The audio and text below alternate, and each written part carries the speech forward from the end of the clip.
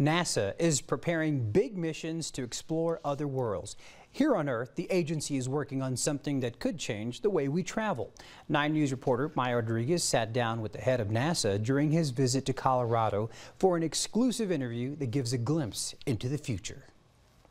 From a future human mission to the Red Planet. We've uh, pretty well defined the journey to Mars. To the International Space Station in low Earth orbit. We're very comfortable operating here. As NASA looks to the future, it's also looking back to its original roots. It's our heritage. NASA Administrator Charles Bolden heads up the nation's space agency and sat down with 9 News for an exclusive interview at the 32nd Annual Space Symposium in Colorado Springs.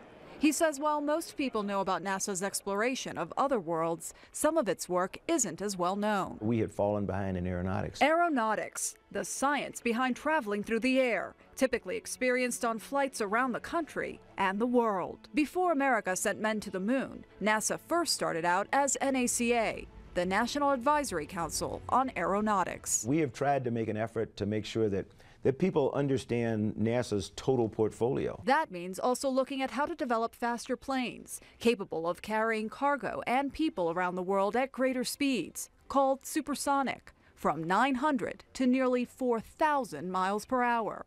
That would be like going from Denver to New Delhi, India, in about two hours. The good thing is we've been working on this for decades, for years, really.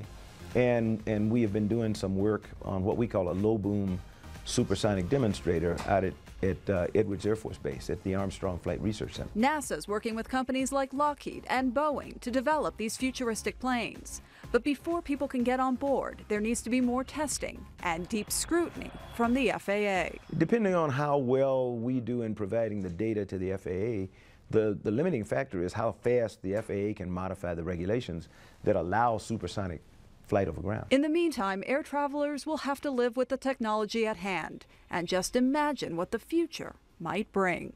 Maya Rodriguez, 9 News. Bolden says NASA is working on improving some of its aeronautic testing centers and plans to invest in aeronautic programs at colleges and universities.